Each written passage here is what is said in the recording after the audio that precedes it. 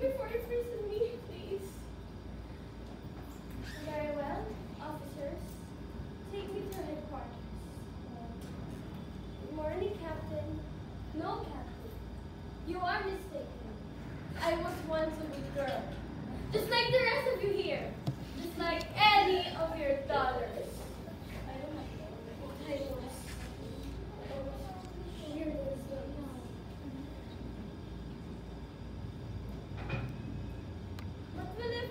honestly.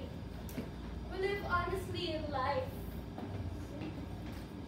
My father, mother, brothers, sisters, and I. But then, poverty is a part of our home. My father came jobless. My mother got ill. The small savings that my mother spent for our expenses were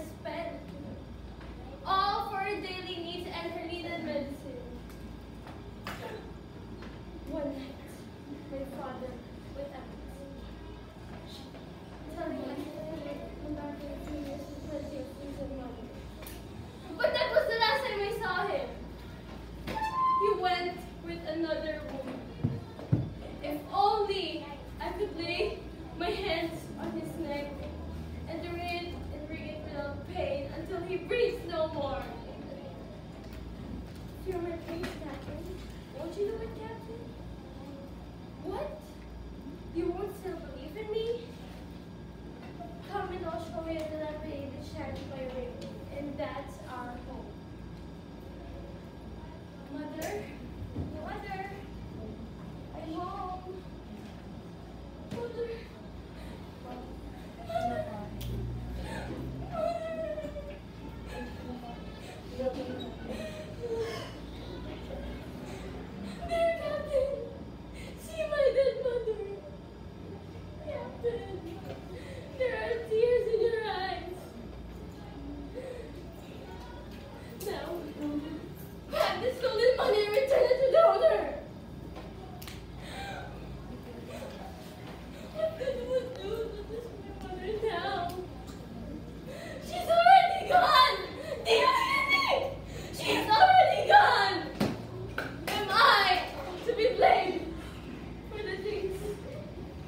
Amen.